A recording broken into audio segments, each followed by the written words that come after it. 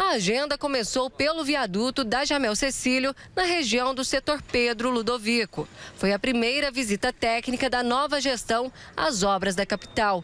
O prefeito em exercício, Rogério Cruz, estava acompanhado de uma comitiva. Nela estava o novo secretário de Infraestrutura. Eu estava discutindo com o prefeito Rogério, é, levei os projetos, que é tudo em papel. E ele me disse que gosta muito de, de, obra, o pai dele era construtor e que ele queria ver de perto, né, nessa vistoria, inclusive outras obras também, e ver o material, é, a, a, situação que a obra está, as dificuldades que às vezes as, as empresas enfrentam. Um trecho do viaduto já tinha sido inaugurado pelo ex-prefeito Iris Rezende antes de terminar o mandato, no mês passado. A parte de cima, onde passa a Avenida Jamel Cecílio, foi liberada. Toda a obra começou em setembro de 2019 e deveria ter sido concluída no mês passado.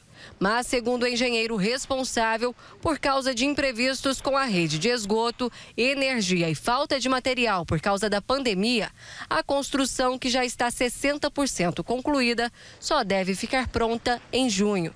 Nós sabemos que essa obra é uma obra gigantesca que foi prometida, iniciada pelo governo é, Iris Rezende. É, nessa sequência, nós estamos observando as questões se está tudo em andamento legal.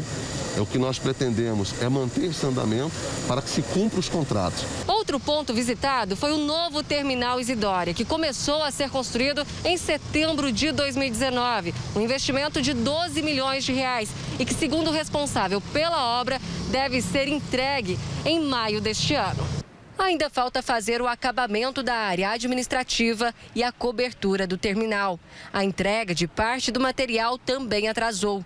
Do lado de fora, na quarta radial, funcionários trabalham na pista do BRT. Esse vai demorar mais um tempo para ficar pronto. É uma obra que estamos acompanhando de perto. E é um desejo nosso que essa obra seja o mais breve possível concluída, porque é uma obra que está tomando espaço da nossa cidade. E os, os cidadãos não, eles merecem o respeito de ter a sua cidade completamente livre para o direito de ir e de vir. A última obra visitada foi a Praça do Trabalhador, onde também está a continuação da Avenida Leste-Oeste. O lugar que era ocupado pela Feira Hip é um dos mais atrasados, cerca de um ano. O presidente da Associação da Feira Hip acredita que em breve tudo volte ao normal. Estou muito esperançoso que esse compromisso que eles fizeram, que assim que assumisse ia estar tá aqui para a obra evoluir, está sendo cumprido hoje. Eles estão aqui, o que eles prometeram em campanha para nós aqui dentro da feira está sendo cumprido pelo prefeito Rogério Cruz e toda a sua equipe.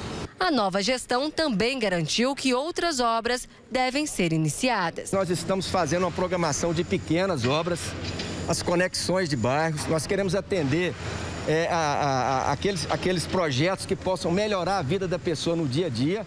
E já existe um planejamento né, de curto e médio prazo, no sentido de que nós possamos lançar novas já concorrências, já tem um edital sendo preparado para um, um conjunto de intervenções que possam também fazer as interligações que nós precisamos fazer, que são, nós consideramos emergenciais, porque as obras maiores estão prontas, mas nós precisamos interligar elas.